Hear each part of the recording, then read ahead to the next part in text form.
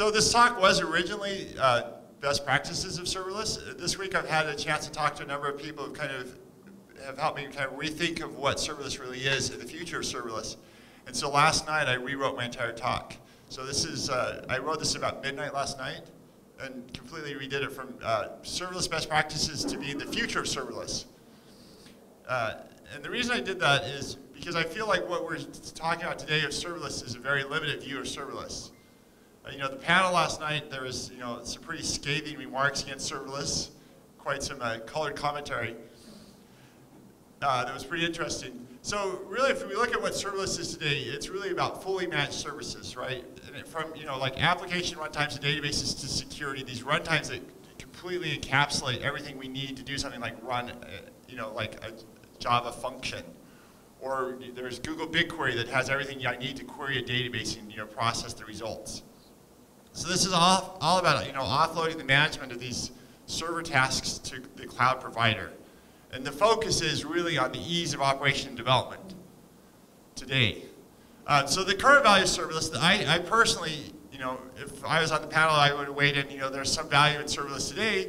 I think beyond just this ease of running and deploying application, uh, there's a number of areas where it's really useful. One is in, in, security with the least privilege approach, right? If I have a cloud function and I only give it access to a single database, if that cloud function gets, you know, attacked, I'm going to minimize the blast radius of my service, services.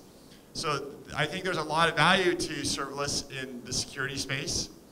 Uh, Netflix uses a, they call it the trough. I don't know if I spelled trough right, but right, what they have is this ability to scale down their services and make the resources available for um, things like writing machine learning models. So at night or off peak hours, they can take the excess resources and do such, things such as video codecs processing. And So this ability to kind of balance my workloads across the servers is very useful.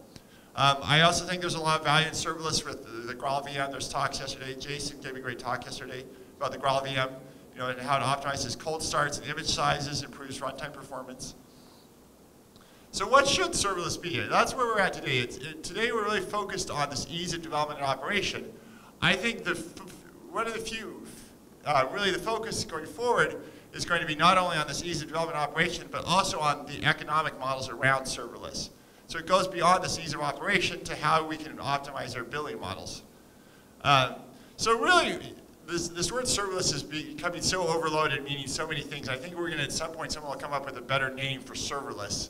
But really, it's about this, um, more than abstracting over servers, it's about this, you know, James Ward said last night, you know, a model that matches supply with demand. So depending on how much compute I need, that demand is automatically met for me. And I don't think about how those resources are provided or how they get allocated. Uh, the other way of thinking about this, there's, an, there's a really interesting paper on this, uh, the Berkeley view of serverless computing, where I want to decouple computation storage, which is already, most cloud providers already do this, but not only do I decouple the computation storage, I also provision and price them independently. So my storage gets priced independent from how my compute gets priced. So there's, this opens up some really interesting possibilities for new avenues of, uh, you know, building and, and, you know, economic resource, uh, you know, the economic models behind computing. And really what it comes down to is, uh, I think the key of serverless in the future is going to be, why I want to pay in proportion to the resources used instead of the resources allocated.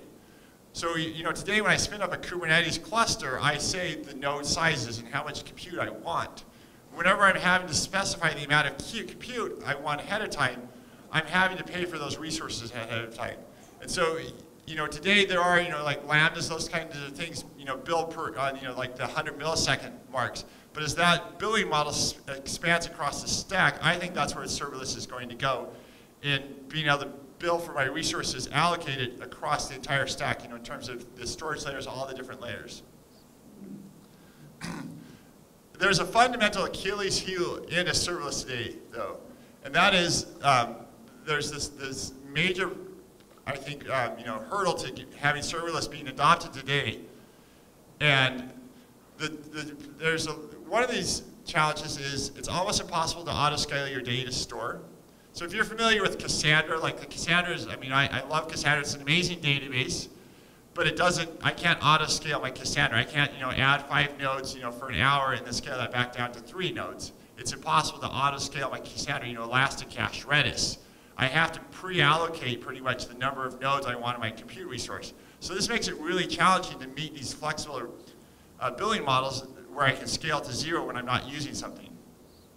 Uh, so you know these pricing models don't truly line up with the, uh, the models of these backend services yet today. Um, another thing, if we look at the, the primary hurdles of serverless, is if we look at the use cases where it's being, you know, where it's really useful, um, parallel processing of tasks, low traffic applications, stateless web applications, right? Um, job scheduling, these kinds of use cases, this is where I think the sweet spot of serverless is today. But if you look at all these, they have a common thread. Now that's their primarily stateless. So this is where serverless is today, is on these type of stateless applications, which leads a major gap because I'm limited to how I can use my functions, my serverless functions. So what has happened is uh, serverless has become anonymous with stateless functions. So, you know, in last night's panel, you know, Jesse made that comment that, you know, until we have, you know, extremely low latency access to, you know, storage, and from a serverless function, we're never going to be able to achieve state. And this is the primary problem that we're facing today, is serverless is equated with stateful functions. Yeah, go ahead. Did you mean synonymous? Synonymous, thank you. Synonymous with stateless functions. Thank you. Uh, it's nice to have an autocorrect in the audience. I appreciate that. uh, so the, when we look at the, the serverless today, um, some of the common limitations are the functions are primarily stateless. They're, they're ephemeral, short-lived, right? It's, and the problem is, is when they're this very ephemeral, short-lived kind of function, it gets very expensive to, to lose my computational context and rehydrate. You know, if I'm in the process of video codec, you know, doing a video and I lose that process in the middle of it, and I have to restart from the beginning, I've lost all my state. Uh, you know, machine learning models. You know, if I'm trained in a machine learning model, I lose my state halfway through the training. I've lost a lot of the, the, the processing, the so all that context gets lost. Um, another really pro big problem is the durable state is always somewhere else. So with AWS Lambdas, AWS Lambdas makes um, Dynamo almost seem like it's integrated because they, they, they, they, do a lot of tricks to make you know, Dynamo really you know, uh, you know, provide a, a, tight connection to Dynamo. But if I want to use any other kind of state, like you know, if I'm spinning up like a database connection pool, and I'm having to deal with going through that database connection pool, that state is always living outside of that function. So there's no way to really directly, you know, direct accessibility of my state because I'm always communicating out to some external storage. So this really is limiting the options for how I kind of manage and coordinate the state. Um, and this also limits the options for modeling that my consistency guarantees. So the current view of state and how that state gets managed is really limiting not only the usefulness of the stateful functions, but it's also stateless functions, but it's also limiting my billing models. So there's, a, there's these really common themes that are limiting how serverless is being used and adopted today. So, you know, and, and really, I'd summarize it, the primary limitation is no state. So how many people write applications that never need any state? Is there anyone that has an application that never needs state? Yes. Most applications today require, oh, you have an application that requires no state. One person. So there's, oh, two. We have two people, two stragglers say that they have applications. So, right, the use cases where we don't need state are very limited to this, you know, fairly limited use cases. Uh, so I think for the adoption of serverless to become, you know, widespread, we need to figure out how we get state into our serverless. Um, so what we need to do is we need to move from this model of stateless serverless to stateful serverless. So the general idea of what people are going trying to do is how can we abstract over our state? So if you think about abstracting over state, this is it's a little bit of a stretch, but you can think about in Spark, like Spark collections, abstract over that state, and I don't think about the fact that that state is actually across a cluster. I'm not thinking about where that state is actually being managed and stored. I'm more just operating on that state, and Spark is managing that state for me underneath the covers. So I'm abstracting over that state. Uh, we abstract over a lot of things in compute today, right? We abstract over resources, such as, you know, with Kubernetes. I'm abstracting over, you know, compute and memory. Um, Istio service meshes abstract over our communication layer. So there's, this is a, you know, a fundamental paradigm of computing is how we abstract over these different layers to make them easier to use and, and leverage inside of our applications. And I think the future of serverless is going to be the same notion of how do we abstract over our state so that we can make it um, easily accessible inside of our stateful serverless functions. And so this leads towards um, having our state managed by a framework for us and not you know, us directly trying to manage that state, you know, doing traditional CRUD operations.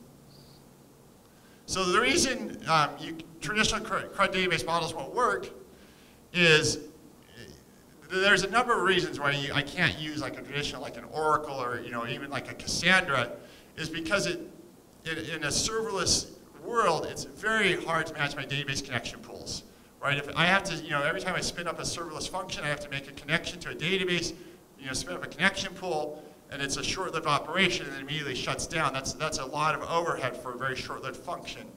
Um, also, if I have, you know, like, you know, I'm scaling, you know, several hundred, you know, serverless functions in, you know, a five-second time period, and they all make a connection to the database, I'm going to cause, you know, I'm going to run out of connections.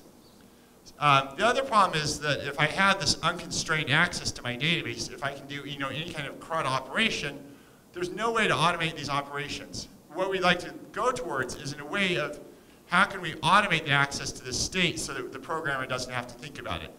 So if we can limit the database access patterns, we can start to think about ways of abstracting over that state and making it easier to work with.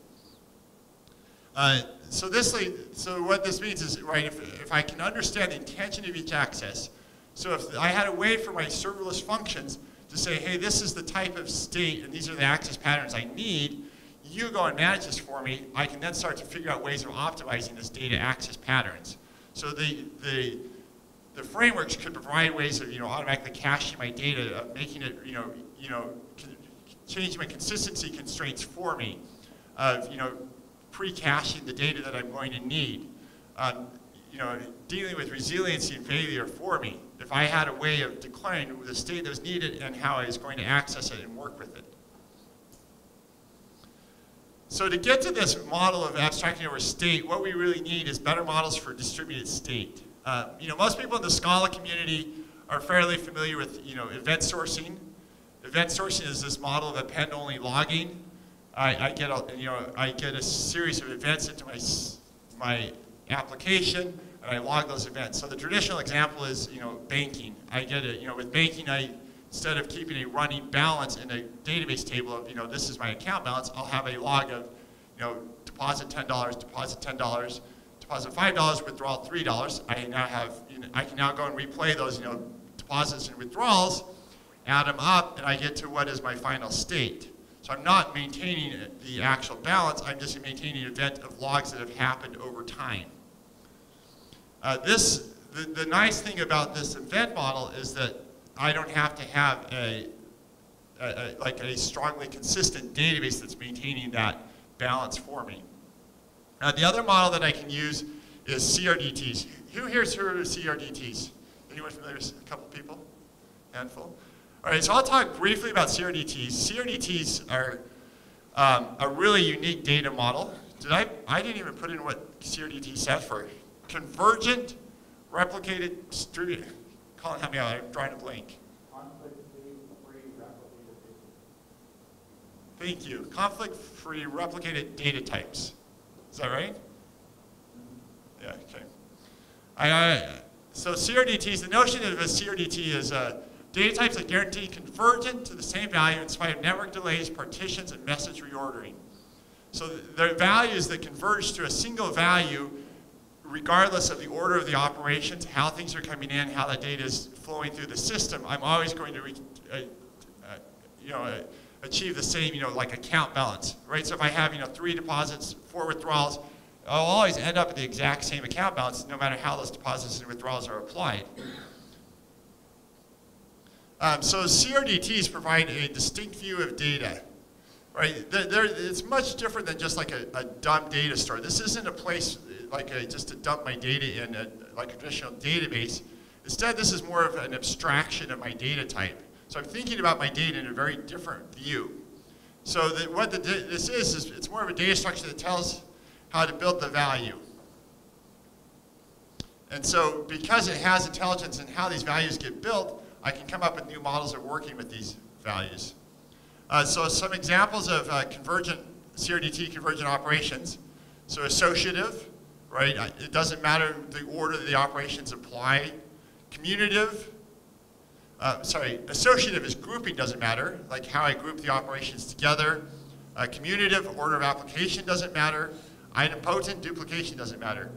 So there's a lot of data types that match this. So you can imagine like registers, counters, there's monotonically increasing counters, uh, like scores of a baseball game, right? These type of, you know, you know, like time series data, gathering weather data.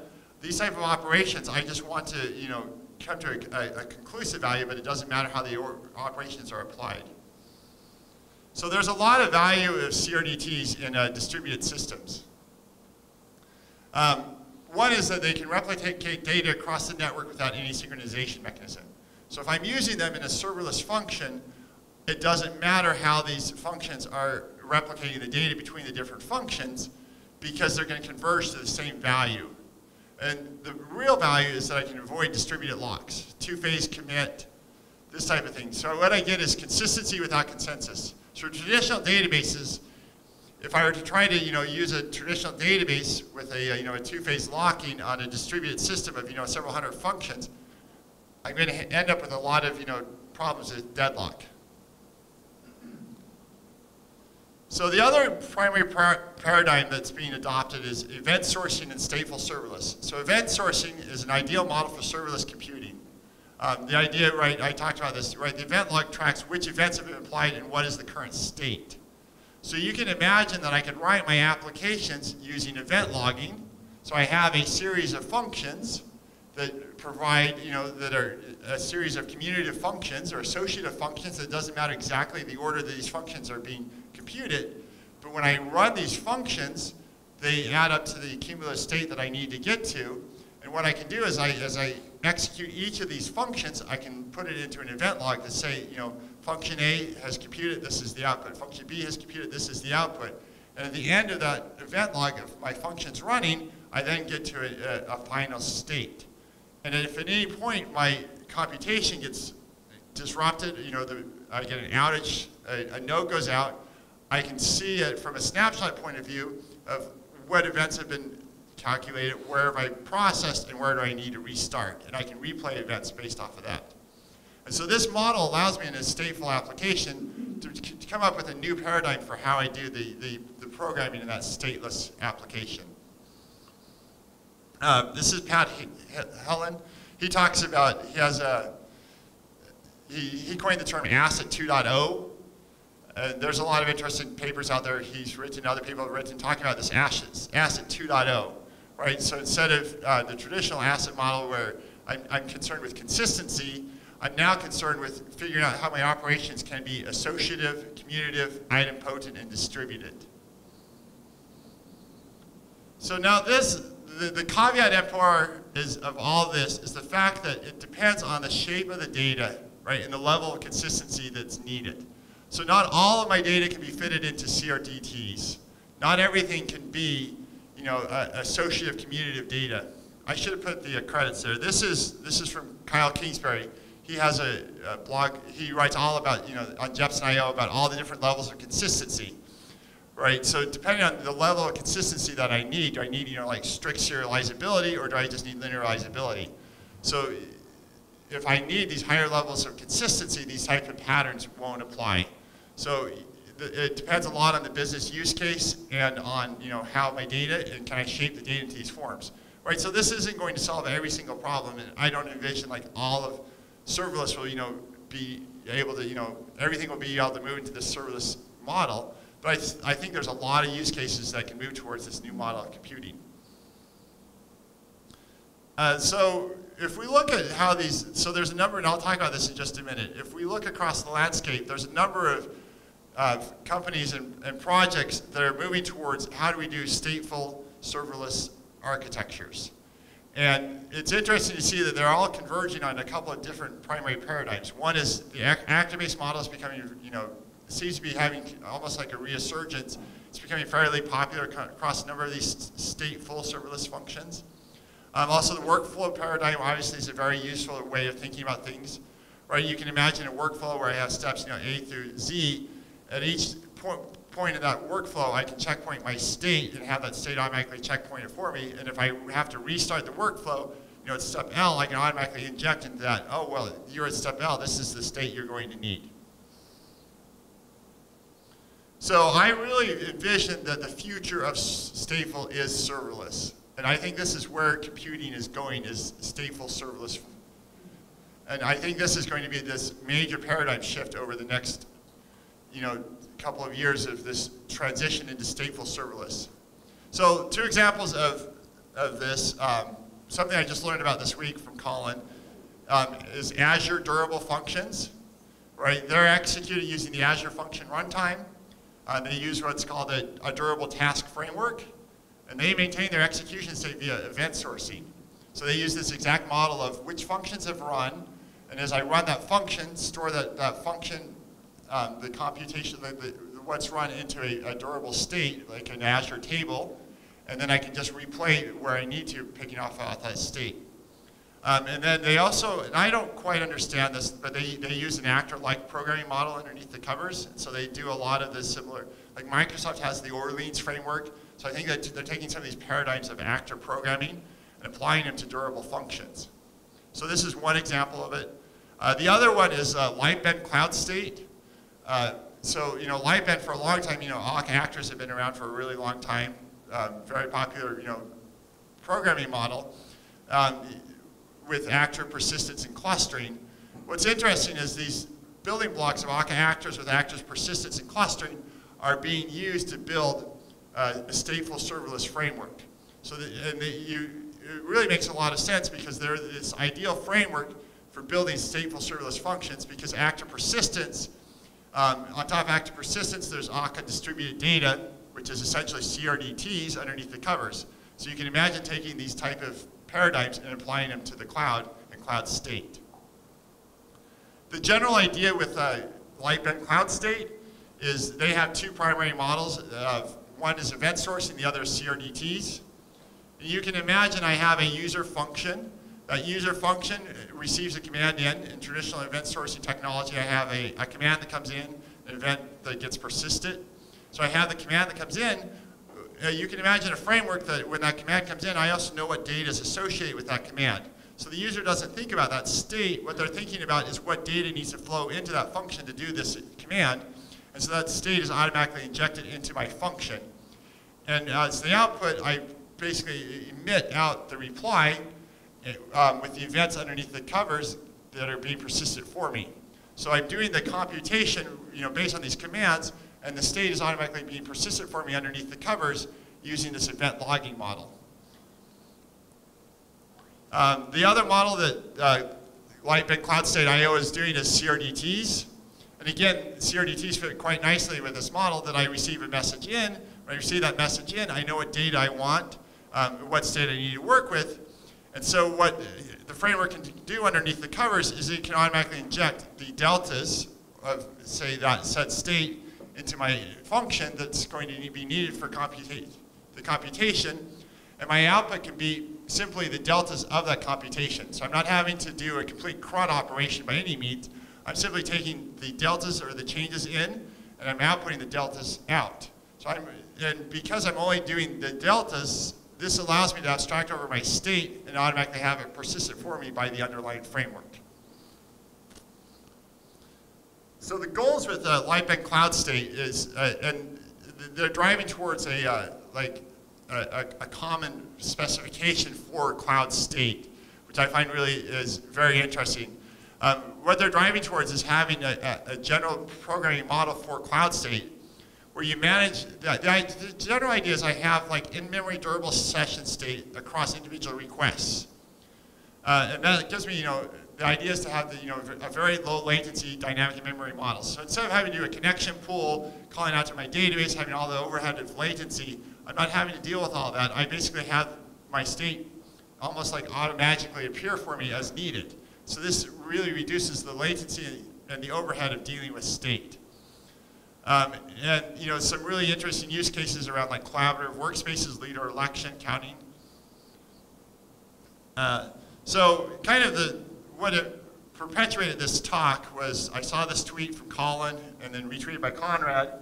And at the same time I saw this tweet, I also happened to have the opportunity to talk to Jonas Bonér about Cloudstate IO. So, you know, kind of in the same week, I, I heard about Azure functions, I heard about Cloudstate, and it, it and I, you know, and I realized that this is really the future of computing. You know, Konrad was one of the original, you know, one of the original um, programmers on the actor, actor team. Um, he, he talks about how stateful serverless is the next big thing, right? Actors are bound to take over the server landscape, full stop. And the reason is, is because they provide that ideal paradigm for stateful serverless functions. So, and then Jonas Bonér, his quote is, the promise of stateful serverless is revolutionary grow to dominate the future of cloud. So, you know, what we're seeing is a lot of thought leaders are saying, you know, how the future is shaping up is serverless is going to gain foothold and is going to transform how we do computing. We just need to figure out how we get state there. Uh, I, will post these slides online. There's a number of links um, that talk about the details. So the, there's other, Flink is doing a project. There's Microsoft Dapr. I don't quite understand Dapr. So there's a lot of different projects that are kind of converging on this, this direction. So thank you. A couple minutes for questions. Any questions?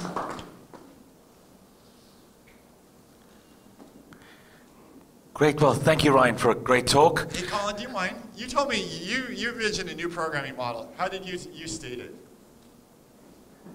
I'm sorry to put you on the spot, Colin. I, I thought it was quite brilliant, but you envisioned kind of a new programming model stateful functions, so.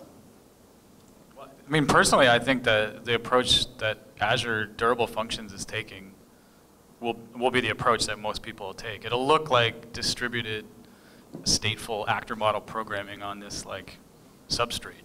So you'll just model entities like they're on the heap, and you won't worry about you know where they're running, and they maintain state. You'll be able to stream data through them. You'll be able to scale to zero, and I, I think that's an especially powerful model for especially in IoT.